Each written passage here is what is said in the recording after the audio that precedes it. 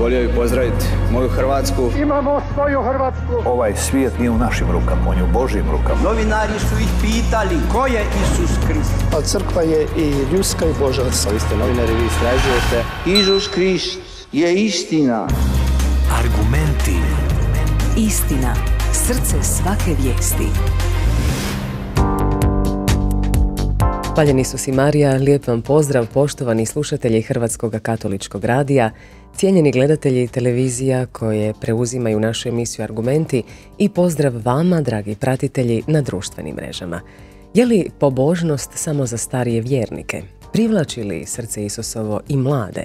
Koji su plodovi pobožnosti i presvetom srcu Isusovu u životima vjernika? Što je uopće temelj ovoj pobožnosti? O tome ćemo govoriti u današnjim argumentima Hrvatskog katoličkog radija. Ja sam Tanja Maleš, a moji su gosti. Profesor dr. Pater Mio Nikić, svećenik i psiholog. Magistar Pater Ivan Matić, župnik župe Presvetog srca Isusova u Palmotićevoj u Zagrebu i gospođa Jelena Grbešić, voditeljica službe za potrebite molitvene zajednice Srce Isusovo. Hvaljeni su si Marija. Uvijek. Dobro nam došli. Marija, uvijek hvala na pozivu. Papa Franjo je prošle srijede podsjetio da je mjesec lipanj posvećen presvetom srcu Isusovu. To je i povod razgovora o ovoj temi. Danas započinjemo mjesec posvećen presvetom srcu Isusovu, izvoru ljubavi i mira. Otvorite se toj ljubavi i dovedite je do kraja zemlje, svjedočeći dobrotu i milosrđe koje izviru iz srca Isusova. To je papin poticaj da više u ovome mjesecu razmišljamo o presvetom srcu Isusovu, a kako je uopće nastala ta pobožnost? Evo, Pater Matiću, pitaću to vas, budući da ste vi upravitelj, recimo to tako, nacionalnog svetišta srca Isusova u Hrvatskoj.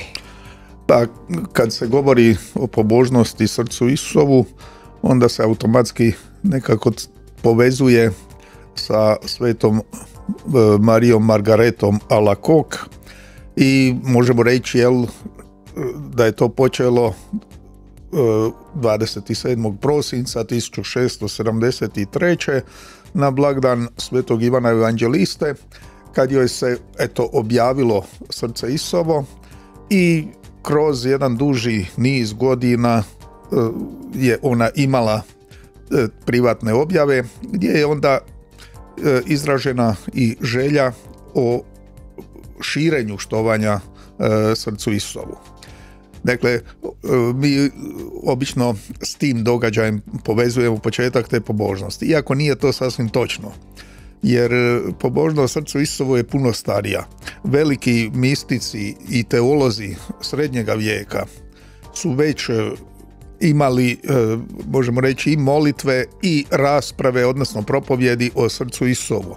U prvom redu e, veliki e, redovi novoosnovani Franjevci i Dominikanci, u, kod njih je pobožno srce Isusovo već bila prisutna, ma zapravo možemo reći već i kod crkvenih otaca jer tumačeći neka biblijska mjesta već je Sveti Augustin govorio o toj pobožnosti. Ono što je zanimljivo, mi smo prije nekoliko godina u Debetnici Srcu Isovu pozvali baš e, redovnike i povezano, dakle pojedini redovi, a kako su u našem dekanatu i Franjevci i Dominikanci, pa su oni onda iznijeli pobožnost Srce Isovo u njihovim redovima.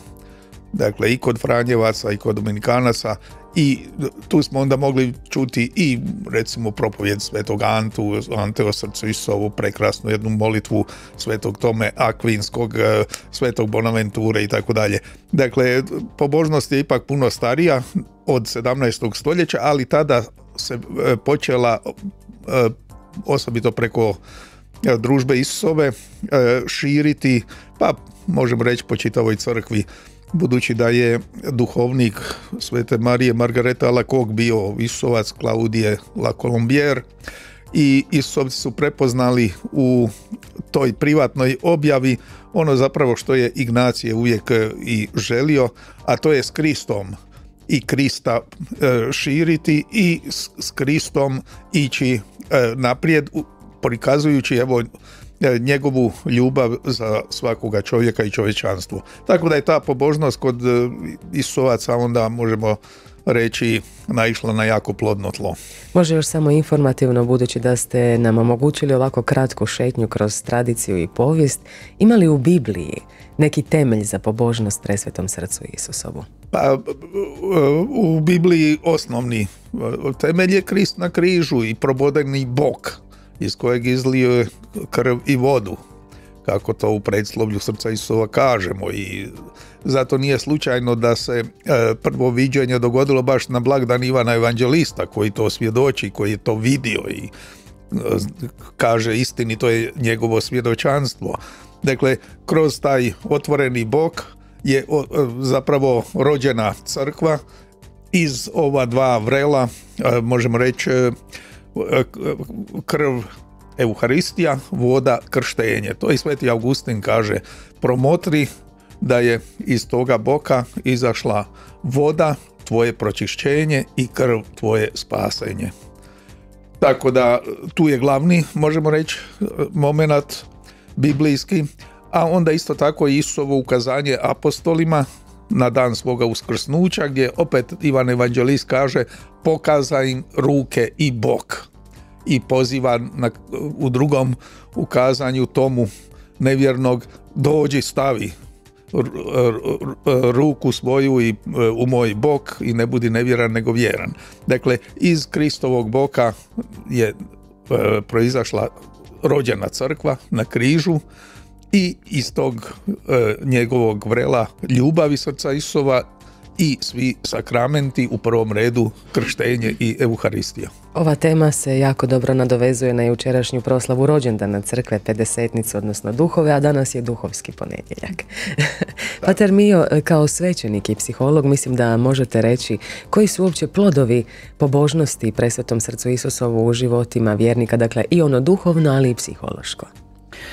Evo najprije bih želio reći e, jednu poruku koju je Sveta Marija Margareta Lakok koju je spomenuo Patre Matić koja je povezana sa širenjem pobožnosti srca Isusovu primila od Isusa Evo on joj je rekao, moje božansko srce je tako puno ljubavi prema ljudima da nije više u stanju zadržati taj plamen. Pomozi mi da taj plamen mog srca obasija sve ljude.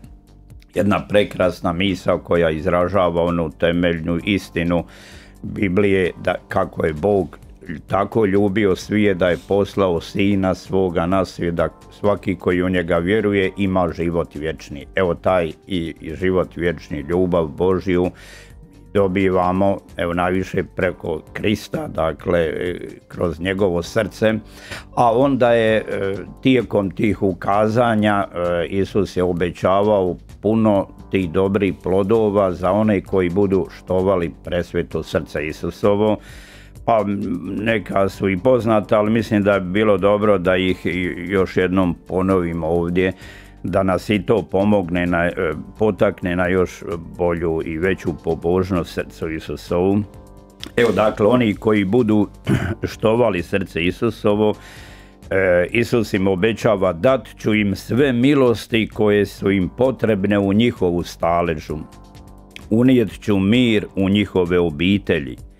Tješit ću ih u svim njihovim patnjama Bit ću im sigurno utočište za života, a osobito na času smrti. Izlit ću obilje blagoslova na sve njihove pothvate. Grešnici će naći u mom srcu izvor i beskrajno more milosrđa. Mlake će duše postati revne. Revne će se duše uzdići do velike savršenosti. Blagoslovit ću i kuće gdje bude izložena i čašćena slika mog presvetog srca. Svećenicima ću dati dar da taknu i najtvrdokornija srca. I ono veliko e, 12.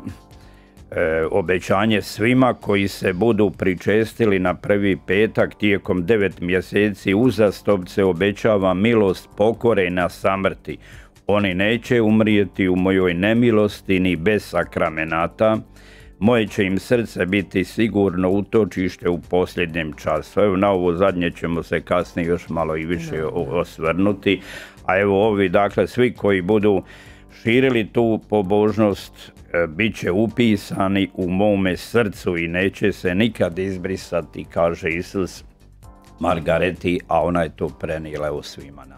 No po sadržaju ovih običanja ne možemo zaključiti da je to pobožnost koja dolazi pred kraj života pa idemo onda napraviti nekakav obračun. Evo gospođo Jelena vi možete potvrditi je li pobožnost nešto što mogu prakticirati i mladi, e, je li ona samo za stare, kako vi to doživljavate iz zajednice Srce Isusova?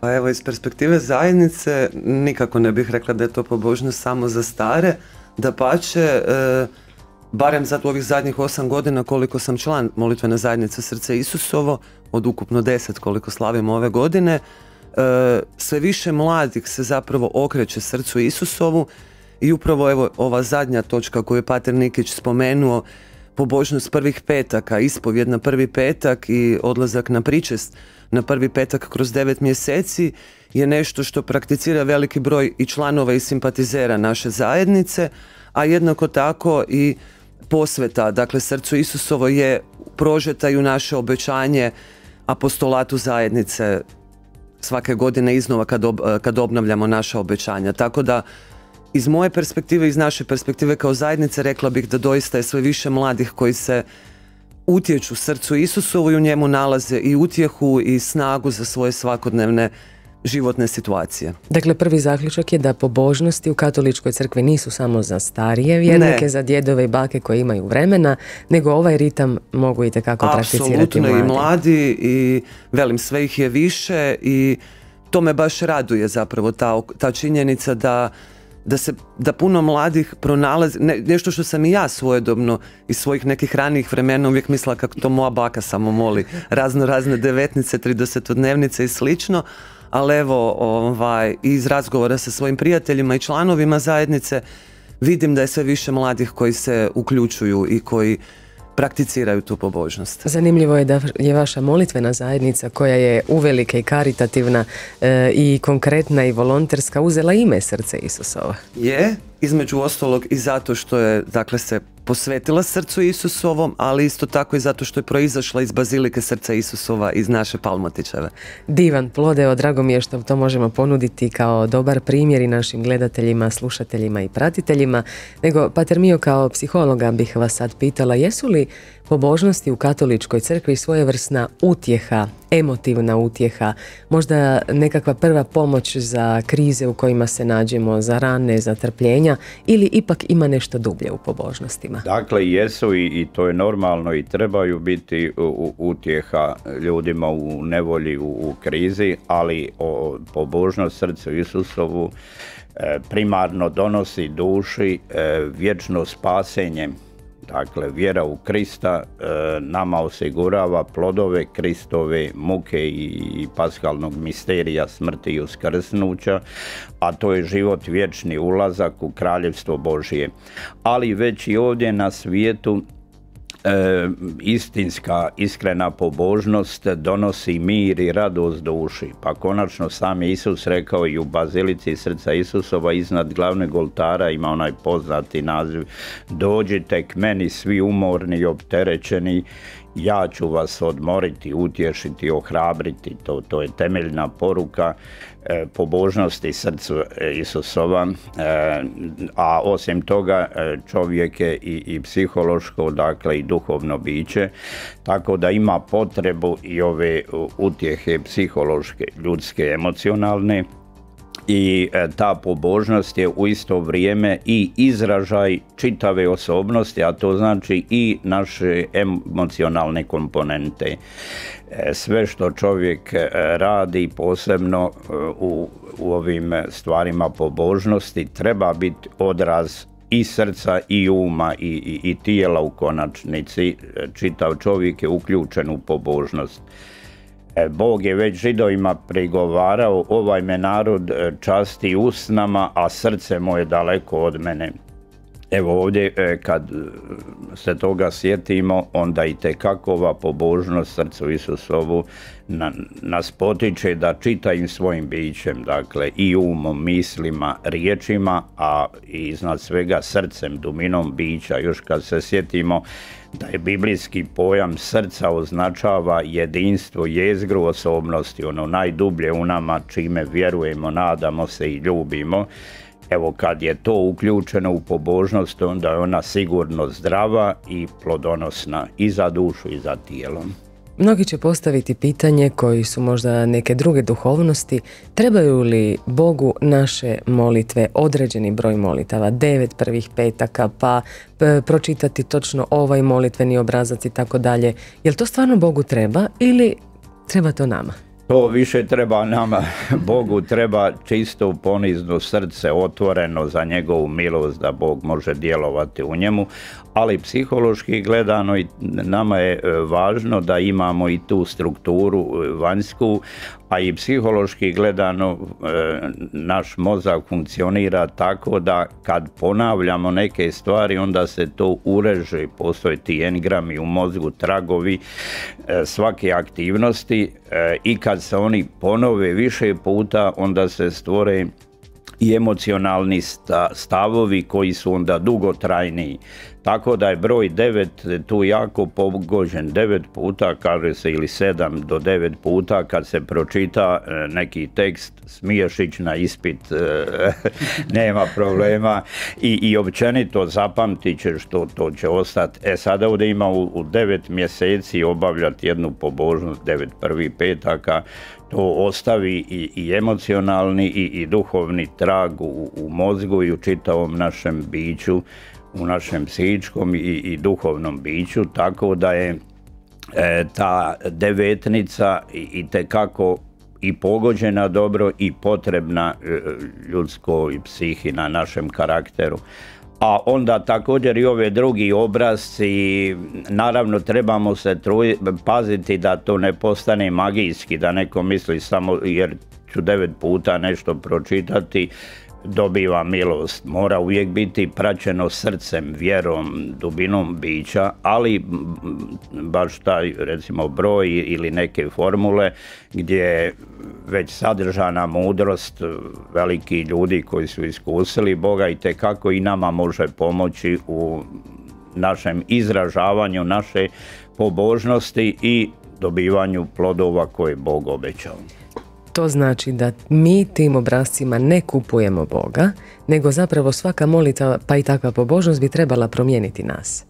Tako je Nije to, to dakle, temeljno je ono da čovjek stvori e, plodno, kao što Isus rekao, zrno koje padne u dobru i plodnu zemlju donosi plod. Riječ Božja koje padne u dobro i plemenito srce, čisto, slobodno, donosi plodove. Idemo prema konkretnom plodu, evo, pobožnosti Srcu Isusovu u Bazilici u Pamotićevoj u Zagrebu. Evo, Jelena Molitvena zajednica Srce Isusovo, već smo spomenuli ove godine, obilježava deset godina djelovanja i zaista svjedoči o divnim plodovima od obraćenja do konkretnih duhovnih projekata. Što se događa u članovima zajednice? Što je Srce Isusovo učinilo sa vašim srcima? Pa promijenilo ih i približilo bliže k sebi, to svakako, a, ali nas i potaklo na konkretna djelovanja.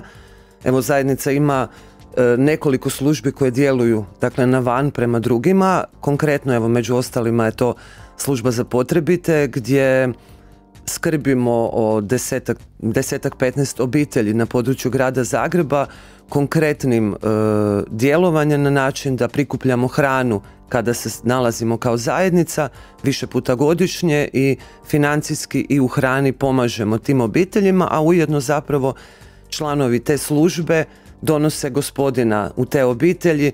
Vrlo često tu se dogode zajedničke molitve, zajedničke krunice i slično. Isto tako imali smo sad trenutno je malo u zastoju zbog e, aktualne situacije koja je bila, ali služba za e, starije i nemoćne gdje smo posjećivali tri doma za stare i nemoćne na području grada Zagreba i jednako tako zapravo u dogovoru sa korisnicima tih domova pripremali različite teme.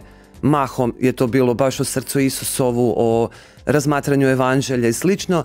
I na taj način se dakle družili sa ljudima koji borave u domovima.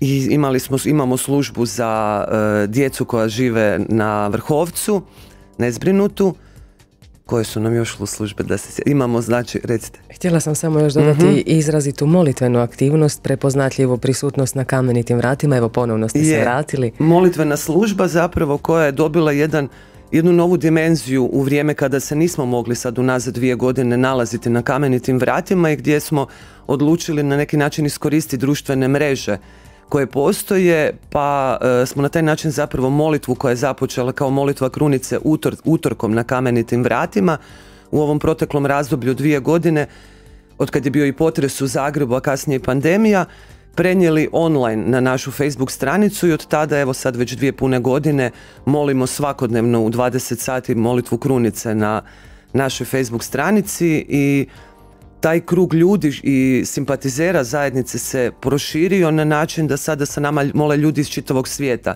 Ono što je meni zanimljivo je da ljudi koji žive u drugoj vremenskoj zoni kojima je no, jutro ili kasno u noć u to vrijeme navijaju satove i bude se kako bi bili uživo sa nama, a ne kasnije pregledavali te snimke. A evo sad prije dva tjedna smo se i vratili nazad na kamenita vrata i nama je to bila neizmjerna sreća svima i evo svaki utorak smo gore tako da ponovno se okupljamo na našim dragim kamenitim vratima i pozivamo sve Zagrebčane da, i ljude koji su u Zagrebu da nam se priključe. Samo ću još dodati da je proteklog vikenda, osobito u subotu, do izražaja došla i vaša volonterska dimenzija na koncertu Progledaj srcem. I evo, hvala vam na tome. Hvala vama, da. Pater Mio, recite. Da, čuo sam ljudi koji nisu ni znali za to slučajni prolaznici kad su vidjeli tako lijepo moli i pjeva da, da su rado ostali i, i poslije se pridruživali spontano, dakle bez neke promiđve, ali očito da se radi o autentičnoj pobožnosti ko koja može ljudsko srce zapaliti ljubavlju prema Bogu. Ja slažem se sa vama i to je zapravo zanimljivo kad vidiš prolaznika koji prolazi kroz kamenita vrata, koji se prekriži kada nas čuje kako molimo Možda ne ostane cijelu krunicu, ali ostane jednu deseticu ili dvije zdravo Marije i baš ovo što vi kažete, Pater. Vrlo često nam se kasnije ljudi javljaju u inbox i zanima ih tko smo, što smo, kako djelujemo i evo taj jedan krug naših prijatelja zajednice se doista širi. Ono što, ja još dodao, recite slobodno, mislim da je ipak da, je isto važna vaša slavljenička služba koja kroz e, duhovne obnove i e, duhovnu glazbu ne samo u Hrvatskoj nego i šire ovaj širi e, vašu pobožnost i, vašu privrženost srcu Isusovu i isto bi spomenuo još da se njima često obraćaju za pomoć roditelji koji imaju problema e, problematičnu djecu, odnosno mlade, tinejdžere, sve do ovisnosnih pojedine. I oni imaju i e, stručne ljude koji mogu u tome pomoći i pomažu. Poznato mi je da postoje i grupe za mladiće gdje se zaista intenzivno radi i prilično strogo pristupa, ali ne da se dokazuje nečiji autoritet, nego da se čovjeka izvede na pravi put. Tako Jučer smo imali pedesetnicu duhove i jedna od propovjedi je među ostalim rekla da se duha svetog ne može opipati i vidjeti, ali ga se vidi u djelovanju kroz ljude, tako je i ovo. Pobožnost srcu Isusovu nije fizički dohvatljiva, nego je vidljiva, evo, po vašim životima. Je, baš tako, da. Promijenilo je i vas, gospođa Jelena? Je, je. Ja sam zapravo, evo, igrom slučaja saznala za molitvu na kamenitim vratima preko svoje sestrične prije osam godina.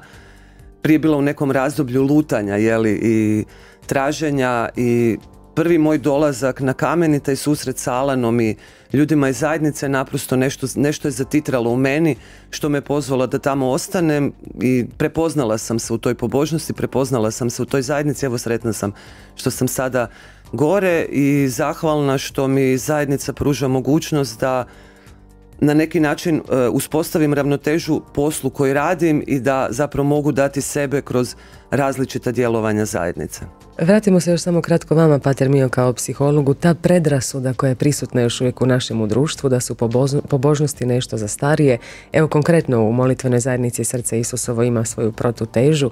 Zašto mislimo da je to nešto za stare? Zašto ne priznajemo ovako dobre rezultate i po ovim svjedocima ne krenemo i sami možda tim putem? Da, čovjek ima potrebu da opravda svoje e, stavove i svoje uvjerenja pa i svoje e, ovisnosti i robovanja, dakle neprikladni način života ako ne može ili ne želi promijeniti, onda je najjednostavniji način da kritiziram druge koji su drugčiji, koji su slobodni, a izrugujem ili kritiziram to što osjećam da bi bilo dobro i za mene, ali ne mogu ili ne želim. Međutim, e, istinska pobožnost je e, najdublja potreba ljudskog srca. Čovjek je u dubinama svoga bića e, duhovne naravi u smislu da je nositelj osobnosti od Boga primljeni duh koji ima samo svijest i slobodu, to je izgra osobnosti, znam tko sam, slobodan sam i imam taj e, neizmjernu težnju prema apsolutnome, prema apsolutnoj ljubavi, sreći, što je lijepo rekao Augustin, i, jer nas je Bog takvima stvorio i za takvu apsolutnu vječnu sreću i onda ništa drugo nam na ovome svijetu ne može do kraja ispuniti. Evo ja volim to reći i to je živa istina. Normalno je biti nesretan u ovome svijetu jer najveća ljubav, najveće bogatstvo, karijera, slava ne može do kraja ispuniti ljudsko biće. Evo, jedino ovdje kao susretne istinski Boga otvori se srcu Isusovu dopusti da njegova ljubav zaživi u nama, onda se približavamo toj punini koju ćemo doživjeti tek u nebu kad ugledamo lice Božije.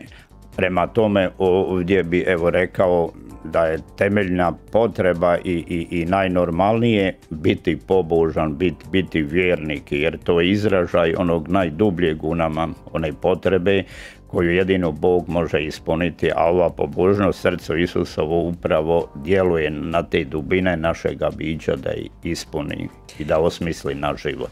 Je li to učinak onoga zaziva kojega molimo u sklopu pobožnosti presveto srce Isusovo učini srca naša po srcu svome?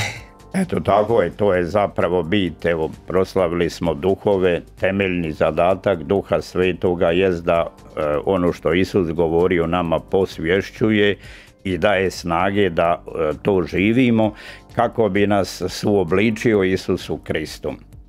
Jer to je konačni smisao ovog života, biti što sličniji Kristu, da mognemo s njim vječno kraljevati. Eto, u tom smislu ovaj pobožnost vrlo lijepa, posebno taj zaziv srce Isusovo učini srce naše po srcu svome, u ovome smislu da je srce jezgra osobnosti, ono najvažnije u nama i kad je to ispunjeno Kristovim mislima, njegovom ljubavlju, onda je čovjek ostvaren i na pravom putu za vječnu sreću. Taj zaziv je zapravo ima svoje opet temelje naravno u e, evanđelju gdje Isus e, što je već spomenuto dođite k meni ali onda nastavlja i učite se od mene jer sam krotka i ponizna srca i naći ćete spokoj dušama svojim. Znači, krotko i ponizno srce treba biti ono koje je, dakle, slično Kristovu srcu, a to znači potpuno Bogu predano. I tu je taj mir i spokoj koji onda čovjek i u nemirima ovoga svijeta može pronaći.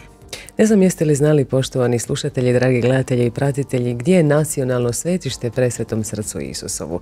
Mi obično baziliku srca Isusova u Palmotićevoj zovemo tako, bazilika u Palmi, Palme i tako dalje, ali evo, Pater Ivane, vi možete potvrditi da je zapravo to naše nacionalno svetište. Pa jest, ali neformalno. Neformalno, tako Dakle, nikada ono nije službeno eto, proglašeno, trebalo bi možda bi se to i moglo čak i jedno vrijeme smo o tome razmišljali, odnosno razmišljamo još uvijek da se postavi taj e, zamolba, odnosno zahtjev Hrvatskoj biskupskoj konferenciji da to e, stvarno i učini kao što je proglašeno Marija Bistrica nacionalnim svetištem, da to bude i svetište srca Isusova u Bazilici.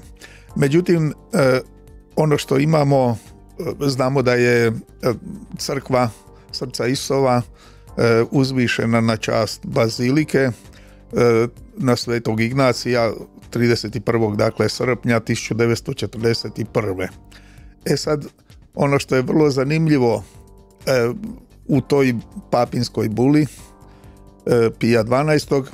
On, najprije se navode razlozi zašto bi e, tu crkvu trebalo uzvisiti na čast bazilike, ne samo zbog njezine veličine, nego još mnogo više zbog pobožnosti koje vjernici u njoj pokazuju i zbog mnoštva ljudi koji dolaze. Znamo da je e, od početka bazilika bila zamišljena e, kasnije je postala župa, ali je bila u prvom redu zamišljena e, kao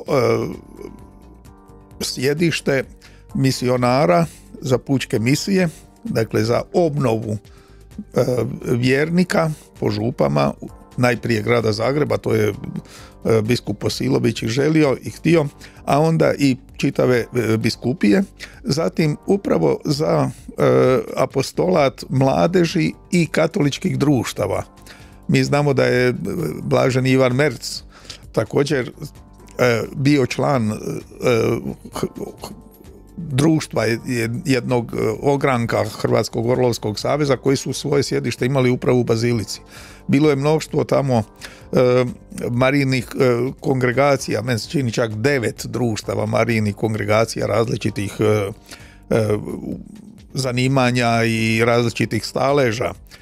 Dakle, zbog svega toga papa uzvisuje baziliku, crkvu tada srca Isova na čast bazilike i spominje da se ta crkva koju uzvisujemo na čas bazilike s pravom naziva nacionalnim svetištem srca Isusova.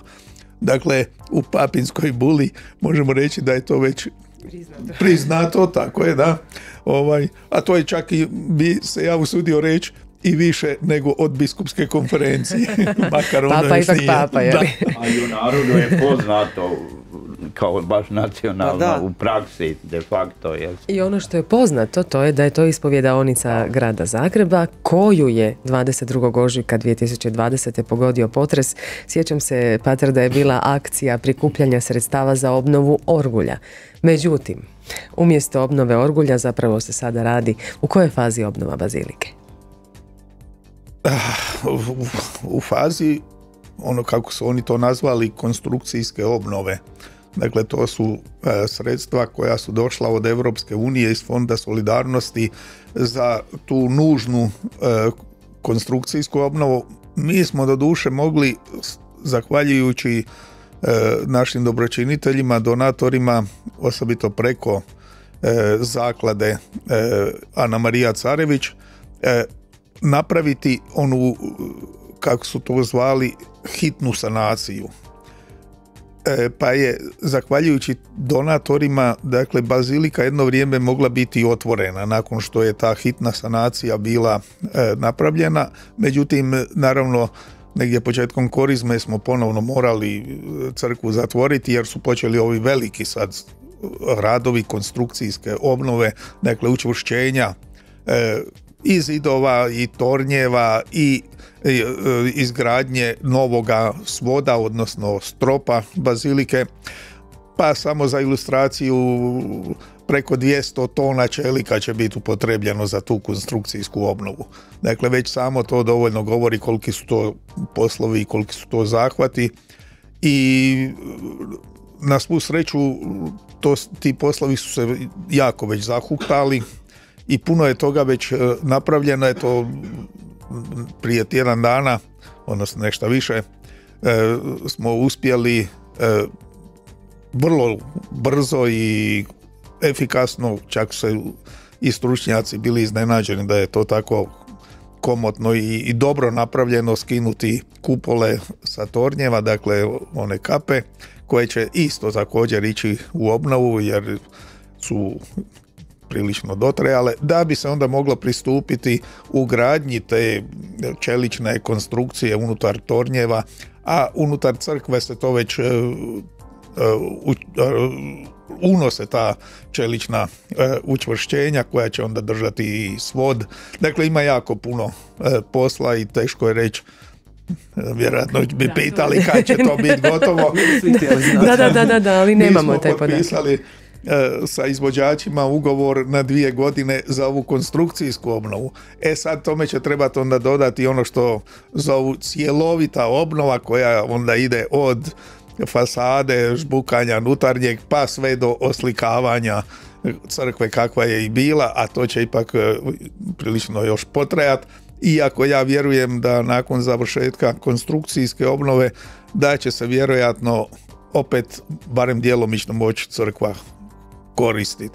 Pa evo pozivam sve vjernike na molitvu da to ide što brže i dobročinitelje da, da, nam, i, da nas i dalje podpomažu u toj, e, tim našim nastojanjima koja nadamo se da u suradnji koja je prilično dobra sa svim E, mjerodavnim službama i Ministarstvom kulture i Gradskim zavodom za zaštitu spomenika i e, pa i gradskom upravom jel da, da će to taj pothvat ipak ići naprijed i biti što je moguće prije dovršen. Ako smijem primijetiti, uz sve te radove vi ste osigurali dalje sakramentalni život vjernicima u alternativnom prostoru i to je u stvari ono najvažnije. Pa najvažnije je to bilo e, vrlo brzo nakon potresa smo morali odgovoriti na potrebe vjernika, osobito je što se tiče ispovjedanja, naravno i euharistije, ali zapravo ništa nije odmah čim je prošlo,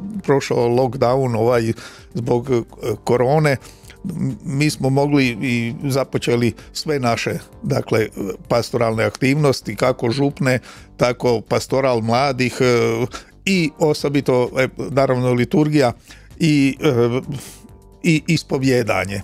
Budući da je problem potresa bio taj što sve velike crkve u centru grada su bile toliko oštećene da jednostavno nije bilo mjesta za ispovjedanje vjernika grada Zagreba. Znamo da glavne ispovjedaonice grada Zagreba su bile pored bazilike još katedrala, e, Franjevačka crkva, e, pa evo djelomično i gore Gornji grad, Sveti Marko i tako dalje. E, sve je to bilo zatvoreno i evo mi smo imali sreću da smo mogli ipak e, nastaviti sa tim važnim apostolatom, dakle ispovjedanja i primanja oproštenja od Božjega srca da vjernici ipak budu ohrabreni. Hvala vam lijepa. Na kraju smo emisije. Voljela bih samo još podvući crtu.